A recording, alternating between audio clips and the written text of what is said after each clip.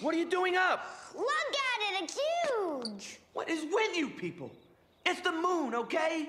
You travel 30 years across time, and all you can do is stand out here and scream about the moon coming up? But you can see the man on the moon really good tonight. Well, did he speak to you? Did he invite you up for a little bit of cheese? Did he blow fart bubbles out of his butt? Huh? Because if he didn't, then there really isn't any reason to be excited about the moon, is there? Sorry, I'll never get excited again. Obviously. Wait! Can I ask you a question? Why does the moon get like orangey sometimes? Because there is a uh, a band of uh,